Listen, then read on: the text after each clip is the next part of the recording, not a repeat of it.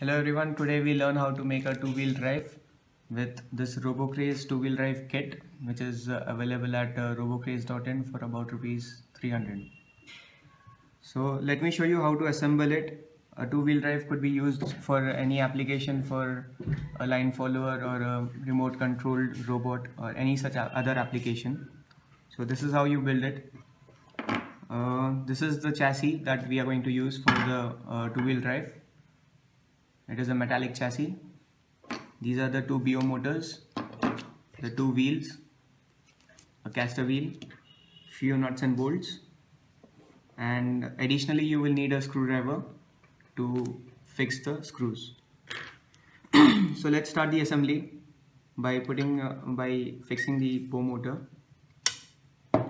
So there is a notch on the BO motor that needs to be fixed through this hole and once that is done just take a screw and fix it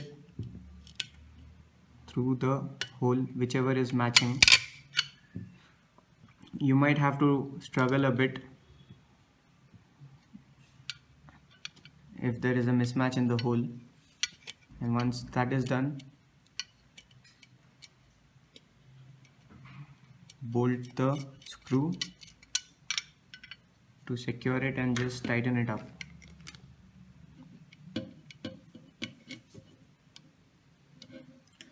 Similarly fix the other BO motor as well with the notch going in. And only one screw should be sufficient to hold the BO motor in place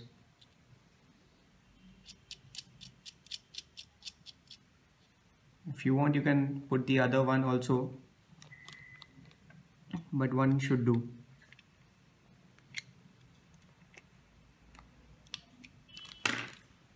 Now we fix the BO motor wheel. As you see the wheel has a slot which will fit exactly on the BO motor.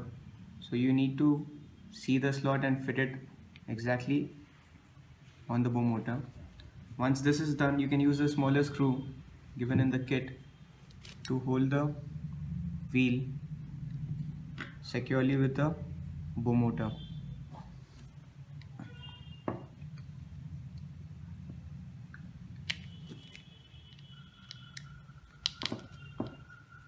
Similarly, do repeat it for the second wheel as well.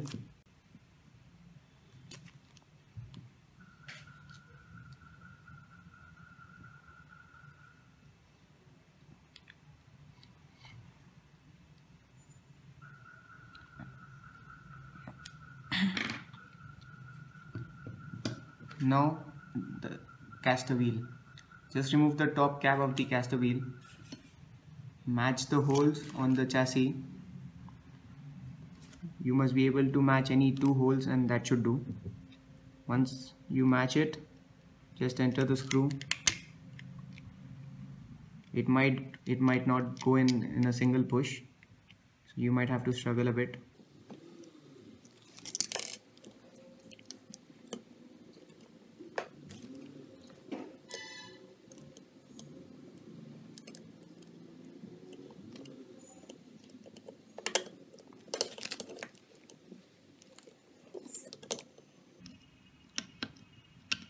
or else you can avoid all this hard work and just use a double-sided tape and fix the caster wheel to save on the energy and time. Once this is done just again bolt the screws from the bottom.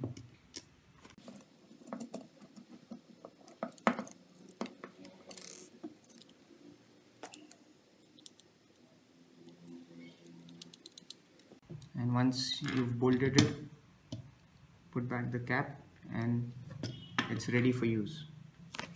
Thank you